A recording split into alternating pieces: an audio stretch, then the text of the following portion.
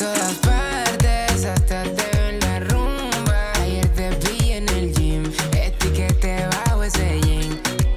Te veo en todas partes, secuestraste mis sueños. Ya no me aguanto un día más. La etiqueta que estamos utilizando el día de hoy es primero en Sao, ya está en el estudio la primera invitada de la noche. Se han formado muchas conjeturas en torno a su salida del canal de la bolita roja. Renunció, la despidieron. ¿Qué ocurrió realmente allí? Pues para contarlo todo con nosotros en Misa del Dramacuro 2015, porque no hay que olvidarse que pasó por las filas del Miss Venezuela, por eso tan bella, Melanie Mile. ¿Cómo Bienvenida. estás, mi amor? De verdad, muchísimas gracias por esta invitación, por este frío tan rico que, no, que nos acompaña en el estudio. Este, bueno, usted me pregunta y yo soy toda una cajita de respuestas. Bueno, nosotros, eh, yo creo que es importante decirlo, fuimos el primer medio a través de nuestras redes sociales en Sí, colocar sí. eh, que había salido de esta planta televisiva y después de aproximadamente unos 5 o 6 minutos tú colocaste tu post que confirmaba que era cierto, ¿no? Este, lo que quería saber y bueno, lo que muchas personas se preguntan en su casa es si renunciaste o te despidieron. ¿Qué fue lo que sucedió allí? Wow, eh, eh, fue todo un proceso en realidad, pero mira, em, hace algunos meses ya yo tengo unos proyectos en, puerta internacionales, pero yo siempre he apostado muchísimo a Venezuela, eh, al arraigo que tengo aquí, a no irme del país, a seguir pues aportando de manera positiva desde mis espacios a este país. Eh, pero si bien es cierto, eh, ocurrieron una serie de acontecimientos en el canal que quizás me dieron el empujoncito de tomar la decisión, ¿no? Y, y de decir, bueno, es el momento de, de cerrar este ciclo y pasar. al eh, siguiente. al a lo mejor entre, entre esas situaciones que ocurrieron eh, está eso que corre por ahí como rumor al principio. Tú me dirás si es cierto o no, que tenías un desencuentro desde hace algún tiempo con Anarela Bono, tu compañera de programa en lo actual.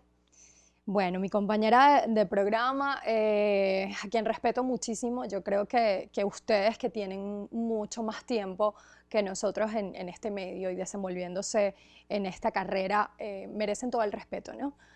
Sin embargo, sí, eh, sí, sí teníamos diferencias porque ella tiene un estilo, pero muy diferente al mío. Pero yo creo que eso se tiene que respetar, ¿no? Eh, en este, en este momento de Venezuela, donde son muchísimos los artistas que se han ido y que quedamos muy pocos en los medios de comunicación que queremos seguir llevándole esa mano amiga al televidente y, diciéndole al público que estamos todavía aquí trabajando por ellos. Eh, yo creo que todos nos tenemos que respetar el estilo que tenemos. Y, y Es creo decir, que, a Anarela, a Anarela no le gustaba tu estilo. eh, tendríamos que preguntárselo a ella. tendríamos que preguntárselo a ella, pero, pero yo creo que, que parte es eso, porque eh, no todos, a pesar de que es un, corte de programa específico, no todos tenemos que tener el mismo estilo a la hora de comunicar, ¿no? Y yo soy de las que piensa, Meli, que, para nadie es un secreto que en el país hay una, una, por no decir la palabra crisis, pero hay una pérdida de valores bastante importante y nosotros como comunicadores o frente a las pantallas tenemos una responsabilidad de llevar lo mejor, de educar así sea un programa de farándula. Yo creo que a través de nuestras palabras nosotros podemos inspirar a que las personas sean mejores. Eh, nosotros podemos Y inspirar. esa, y esa siempre fue tu intención en las pantallas de Televen. Yo creo que sí, yo creo que sí y, y he recibido cualquier cantidad de comentarios que de verdad agradezco muchísimo, no nada más del público, sino de las personas que trabajan dentro de Televen, desde el señor de la puerta, que son muchos y, y- y que les tengo muchísimo cariño, hasta el señor que lava los carros, hasta las señoras de mantenimiento, porque siempre me mantuve igual en estos dos años y, y siempre esa fue mi línea, ¿no? Eh, dar un poquito de lo mejor de uno tienes el compromiso de, de estar al aire en televisión nacional y, y creo que, que lo más importante es eso, mantenerte en la línea del respeto.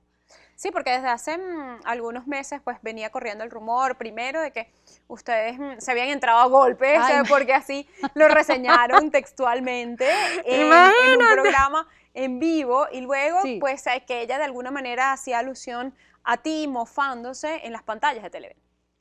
Claro, bueno, el que me conoce sabe que no mato ni una plaga, pero, pero eh, sí tuvimos en cierta oportunidad algunas, algunas diferencias que, que, bueno, ella lo sabe, yo, yo traté de, de- de arreglarlas con ella. de- lo último fue en febrero, um, una discusión que tuvimos porque yo le pregunté si ella tenía algo que decirme, que me lo dijera no era necesario eh, usar el programa como plataforma para, para lanzar puntas a tus compañeras, porque no es la idea del programa, creo que no, no es ese el, el corte ni el objetivo. O sea, estamos ahí para, para educar, para entretener, es verdad.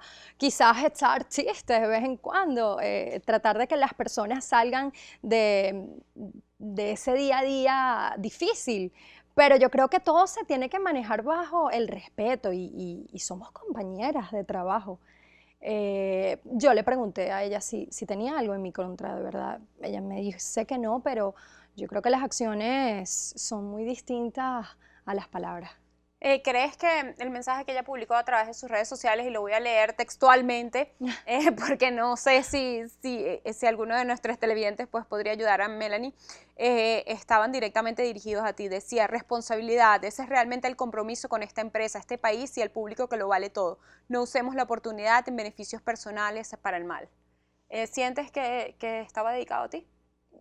Bueno, yo, yo de verdad no, no tengo por qué sentirme aludida por eso. Eh, desde muy pequeñita, Meli, yo soy una persona que ha luchado por cada cosa que tiene y con muchísima responsabilidad y compromiso, porque de hecho eh, formo niñas en una academia de modelaje que tengo en lechería. Y, creo que una de las cosas que me caracteriza y una de las de los adjetivos por las que las personas confían en mí al dejarme una niña chiquita desde los tres años hasta chamas ya grandes es precisamente ser una persona responsable. Em, creo que la responsabilidad va más allá de decir las cosas. La responsabilidad va también en nuestras acciones. La responsabilidad y el compromiso va en lo que hacemos, eh, en lo que aportamos. No sé por qué diría eso justamente después de- del día de, de mi renuncia, pero aparte que, que dice algo del mal, ¿no? Bueno, no tengo nada que ver con, con cosas malas, creo. Eh, Melanie, tienes, em, como bien decías, proyectos internacionales. Eh, eh, ¿Va a ser la casa matriz aquí en Venezuela o te desplazas a otro país? Mira, em, voy, precisamente mañana me voy a Argentina Ajá. em, y luego tengo la principal propuesta en Colombia. Eh, hasta algo hablado por ahí en México, pero eso es, eh, es un poco más eh, eh, a largo plazo por todo el tema del acento, que tiene que ser bien marcado ¿no? para trabajar en televisión mexicana. Pero, pero Colombia es un mercado, por decirlo en la televisión, que, que desde hace mucho tiempo no nada más me interesa, sino ellos también están interesados en mí. Yo lo había dejado ahí como en pausa. pero, pero creo que es el momento. A veces Dios a uno le da señales que no las ve, Meli, pero creo que, que esta señal ya fue definitiva para que tomara una decisión. No obstante, yo quiero... ¿Y eh, a Argentina vas de viaje? No, Argentina de verdad voy a despejarme. Necesito muchísimo ver a mi mamá y a mi hermana que viven allá. Eh, pero de Argentina voy a Colombia. Voy a Colombia a concretar esto. No, no, no te digo que me voy a ir ya de Venezuela. De hecho, tengo una labor súper importante ahorita que estoy realizando y, y no quiero despegarme así. Además que Ya. precisamente Colombia es- está ahí al ladito y, y me hace bien. Quiero, no- quiero no hablar justamente de esas dos labores. Este, por un lado, tienes una academia, como bien lo mencionaste, en el que educas a niñas en lechería, ¿no? Eh, y por otro lado, este, tienes una fundación que, que, bueno, que saca a flote esa parte filantrópica que tienes dentro de ti. Sí, eh, bueno, la academia, todas esas cosas, la, la- la organización sin fines de lucro, Luz de Rescate, eh, sí va a seguir trabajando, pero la academia sí va a estar en un stock hasta que yo decida realmente, bueno, me voy para Colombia, o me voy para México, me voy para donde sea, o me quedo realmente en Venezuela o consigo el equipo, porque eso también, y eso forma parte de la responsabilidad, no es dejar a una persona que lleve, que lleve una institución donde educas niñas, donde tratas de rescatar valores. Em, entonces, nada, la academia está ahí en esto un ratico. Yo tengo que decirlo porque tengo que decirlo, porque me siento súper orgullosa además, eh, y uno tiene que enaltecer las cosas buenas que hace. Stephanie Gutiérrez salió de mi academia y Stephanie dio un papel súper importante en el Miss Universo y para mí es un orgullo saber que, que desde chiquitica estaba allí, desde chamita y, y que muchas de las cosas o las bases que tiene del modelaje y, de la forma de expresarse viene de mí y de, y de mi equipo de trabajo. Eh, y con respecto a Luz de Rescate, Meli eh, es un equipo maravilloso. tengo que aclarar que no es una fundación todavía. Ah, ok. Sí, no, no, todavía no la hemos registrado como fundación, pero seguimos trabajando. Todo esto Es organización sin fines de lucro. organización sin fines de lucro, todo esto surge tras el apagón nacional. Comenzamos a cocinar toda esa comida que nos quedaba ahí descongelada, pero esto em, pues subió nuestras expectativas y la, cada día son más voluntarios, más personas que se unen. Eh, llegamos cada día a más lugares dentro y fuera de Caracas donde quizás pues hay personas que han sido un poquito olvidadas y nosotros estamos llevando ahí no solamente alimentos, como siempre yo digo, sino esa luz de esperanza de que mira, aquí estamos, o sea, si hay alguien pendiente de ti, esa es la, la, misión de Luz de Rescate.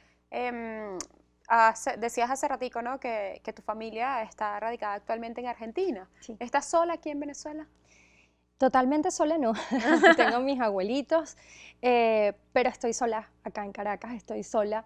Y, y, tengo que decirlo, claro que me da nostalgia haber salido de, de haber terminado mi relación con Televen porque eh, desde que me vine sola a vivir acá, ellos eran mi familia. Claro. y a uno siempre le queda ahí como, ¿sabes?